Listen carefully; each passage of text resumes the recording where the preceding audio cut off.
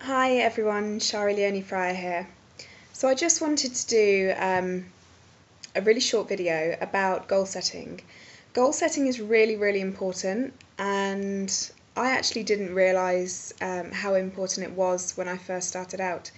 So goal setting, you have to have a clear goal that you want to achieve. Um, I've got quite a few goals that I want to achieve right now, um, which is kind of laid out over the next few months. I've got a few big, big goals as well, which aren't going to kind of come into play for the next year or so. Um, but my main goals, I know when I want to achieve them. They are realistic, um, and I, I have a, a clear focus on what they are as well. So, knowing what your goal is, you really have to kind of ask yourself quite a few questions. So, write down your goal and then say, why do I want to achieve that? Because the more you kind of get into it, the more you keep asking yourself, why do I want this? Why do I want this? Why do I want this? That you'll find your real goal. Um, your goals change all the time, and there's there's two types of goals.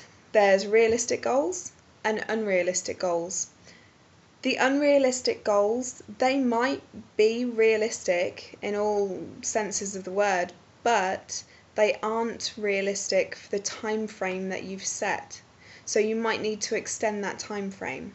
There's a couple of people that I've been talking to recently, and I've kind of got them to realize that their goals that they want to achieve, they aren't going to achieve them in the time that they've laid out.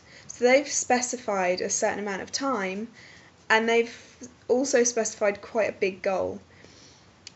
If you, if you're breaking down your goals um, to see what sort of action you have to take and what effort you need to put in, and you really don't think that you're going to be able to do that, that's an unrealistic goal. By all means, it might be an unrealistic goal for somebody else, but you might be putting in all the action necessary, all everything that it needs um, to achieve this goal. You might be doing that, and that's a realistic goal for you. There's lots of different ways that you can look at it, um, but you need to you need to have clear goals and you need to have a clear definition of a time frame that you need uh, that you're going to achieve them in. Um, if you don't have a clear definition, then it's kind of like a whimsical goal, and you won't really achieve it. Um, so make sure when you set a goal that you set a deadline for it, because that will push you towards it and it will drive you towards it. Um, yeah, I don't think there's much more that I wanted to say on goal setting. I could go into a lot, lot more, but these videos, for the purpose of doing them, I just want to keep them short.